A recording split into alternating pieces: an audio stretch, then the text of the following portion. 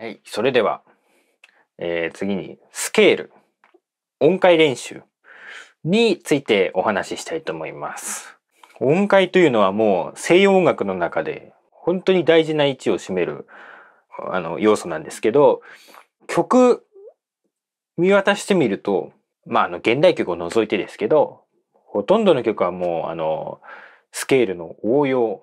でできているということがわかります。